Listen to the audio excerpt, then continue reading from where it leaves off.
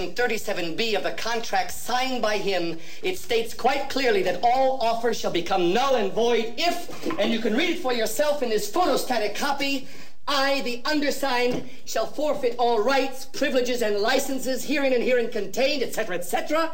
Fax mentis incendium gloria culpum, etc., etc. Memo bis punitor delicatum. It's all there, black and white, clear as crystal. You stole fizzy lifting drinks. You bumped into the ceiling, which now has to be washed and sterilized, so you get nothing. You lose. Good day, sir. You're a crook. You're a cheat and a swindler. That's what you are. How can you do a thing like this? Build up a little boy's hopes and then smash all his dreams to pieces. You're an inhuman monster. I said good day.